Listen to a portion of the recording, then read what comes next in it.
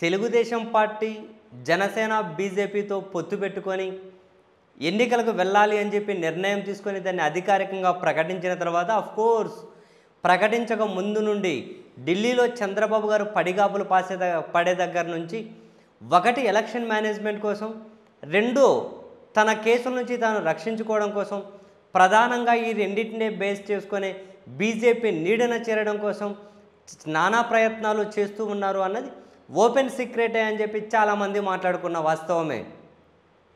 ఈ క్రమంలో అటు ఆంధ్రప్రదేశ్ బీజేపీ అధ్యక్షులు పురంధరేశ్వరి గారితో కలిపి చంద్రబాబు నాయుడు గారు అండ్ తెలుగుదేశం పార్టీ మీడియా ఆంధ్రప్రదేశ్లో కొందరు ఆఫీసర్ల లిస్టునంతా అంటే మరి నారా లోకేష్ రెడ్డి డైరీలో ఏమేమి పేర్లు అయితే ఉన్నాయో ఆ పేర్లు టీడీపీ మీడియాకు తెలుసు పురంధరేశ్వరికి తెలుసు చంద్రబాబు గారికి కూడా తెలుసు కాబట్టి ఆ రెడ్డి డైరీలో ఉన్న పేర్లన్నీ పురంధరేశ్వరి గారు ఒక పేపర్ మీద రాసుకొని ఎన్నికలతో సంబంధం ఉన్న వాళ్ళు సంబంధం లేని వాళ్ళు ఢిల్లీలో ఆ లిస్ట్ ఇచ్చి వీళ్ళందరినీ కనుక పక్కన పెట్టేసి అదిగో వీళ్ళ ప్లేస్లో వీళ్ళ వీళ్ళని రీప్లేస్ చేసుకుంటూ పోండి అని చెప్పి లిస్ట్ వచ్చేసారు మేడం గారు. అందులో ప్రధానంగా డీజీపీ దగ్గర నుంచి చీఫ్ సెక్రటరీ దగ్గర నుంచి వీళ్ళిద్దరికీ మించి కూడా సిట్ చీఫ్గా ఉన్నటువంటి కొల్లి రఘురామిరెడ్డి. అదే చంద్రబాబు నాయుడు గారిని అరెస్ట్ చేశారు కదా స్కిల్ డెవలప్మెంట్ స్కామ్లో కొల్లు రఘురామిరెడ్డి. సిట్ చీఫ్ ఉన్నారు. అసలు ఎన్నికలకు అసలు ఆ డిపార్ట్మెంట్కి సంబంధమే లేదు. సంబంధమే లేదు. అయినా కూడా ప్రధానంగా ఆయన లిస్టు ఆ ఢిల్లీలో ఇచ్చేసి వచ్చారు. మరి ఆమె ఇచ్చిన ఫలితమా? చంద్రబాబు నాయుడు గారు చేసినటువంటి ఈ పైరవీల ఫలితమా? ఈ పొత్తుపై ఫలితమా? రిజల్ట్ ఏంటి అన్న తెలియదు. కొల్లు రఘురామిరెడ్డిని ఈ కీలకమైన ఎన్నికల సమయంలో ఎన్నికలకు సంబంధం లేదు. నోట్ మై ఓట్ ఆయన బాధ్యత నిర్వహిస్తున్న సిట్ చీఫ్కి ఎన్నికలకు సంబంధం లేదు. ఆయన ఆంధ్రప్రదేశ్లో కీలకమైన ఎన్నికల సమయంలో ప్రతిపక్షాలు మరీ ముఖ్యంగా తెలుగుదేశం పార్టీ ఏ అధికారిని అయితే టార్గెట్ చేసుకుంటూ వస్తూ ఉన్నారో ఆ అధికారికి ఎలక్షన్ కమిషన్ రాష్ట్రం బయట బాధ్యతలు ఇచ్చారు. అసోం పోలీస్ పరిశీలకుడిగా అస్సాం రాష్ట్రంలో ప్రస్తుతం ఎన్నికలు జరుగుతున్నాయి కదా. ఆ అస్సాం ఈయన పోలీస్ ఎన్నికల పరిశీలకుడిగా కొల్లు రఘురామిరెడ్డి నియమించుకుంటూ ఈసీ రాష్ట్రానికి ఆర్డర్స్ పంపించింది.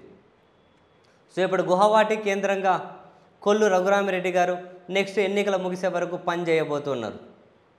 సో మరి దీన్నైతే తెలుగుదేశం పార్టీ ఉగాది పండుగకు మించి మరీ పండుగ చేసుకుంటున్నారు సెలబ్రేషన్ చేసుకుంటున్నారు. దానికి కారణం ఏంటో సీరియస్లీ నాకు అయితే అర్థం కాలేదు. ఎందుకంటే ఎన్నికల విధులకు సిట్టుకు సంబంధం లేదు. కానీ చంద్రబాబు నాయుడు గారిని అరెస్ట్ చేశారు కాబట్టి వాళ్ళ రెడ్డి డైరీలో ఉన్న పేరు కాబట్టి పురంధరేశ్వరి ఒక పేపర్ మీద రాసిచ్చి ఢిల్లీలో ఇచ్చినటువంటి ఆ పేరు కాబట్టి అధికారితో టీడీపీ మీడియా కూడా ఒక రకంగా ఆయన మీద వీళ్ళు చాలా తీవ్ర కోపంలో ఎందుకున్నారంటే చంద్రబాబు గారిని అరెస్ట్ చేశారని. ఆ కోపంలో ఉన్నారు కాబట్టి ఆయన రాష్ట్రం బయటకు ఈసీ బదిలీ చేసి జగన్కు షాక్ ఇచ్చిందని. జగన్కు షాక్ ఏంటో నాకు అర్థం కావట్లేదు. ఈ ఎన్నికల ప్రాసెస్లో కొల్లు రఘురామరెడ్డి పాత్ర ఏంటో వాళ్ళు చెప్పరు. పాత్ర లేదు కానీ వాళ్ళు ఏం చెప్పరు. కానీ జగన్కు షాక్. జగన్కు షాక్ అని ఒకటే బ్రేకింగ్లు. ఇక్కడ మనం ఇంకోటి కాన్సన్ట్రేట్ చేయాల్సింది అది ఆయన గనక ఎన్నికల బాధ్యతలతో సంబంధం ఉండి ఆ ఎన్నికల బాధ్యతలు సక్రమంగా నెరవేర్చట్లేదు అంటే పూర్తిగా ఆయనకు బాధ్యతల నుంచి పక్కన పెట్టేస్తారు కానీ వేరే రాష్ట్రంలోకి వెళ్ళి వేరే బాధ్యతలు ఎలక్షన్ కమిషన్ కేటాయించదు. కేటాయించదు. మరి మనం దీన్ని ఏ కోణంలో చూడాలి అంటే సీరియస్లీ నాకు కూడా దీన్ని ఏ కోణంలో చూడాలో క్లారిటీ రావట్లేదు.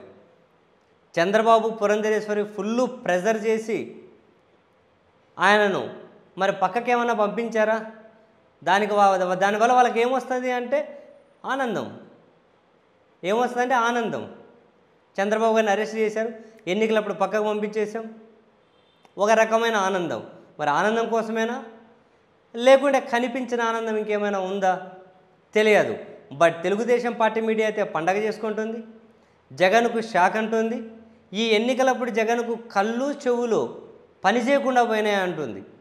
మరి అంతగానం ఎక్కడ కనెక్ట్ అవుతారు? అసలు ఎక్కడే కూడా సంబంధమే ఉండదు ఆయనకు ఎన్నికల విధులతో. సో వాళ్ళైతే పండగ చేసుకుంటున్నారు. సరే చేసుకునే వాళ్ళని ఎవరు వద్దంటారులేండి? కాసింత మరి ఒగరు చేదు ఉప్పు ఎక్కువ ఉప్పేరా? సరే ఒగరు చేదు పులుపు ఎక్కువ కాకుండా కాసింత సమపాలలో కలుపుకొని వార్తలు పండగ చేసుకోండి అబ్బా. మళ్ళీ ఏమైనా ఎక్కువైనాయనుకో మొదటికే మోసం వచ్చి చిరిగిపోతుంది.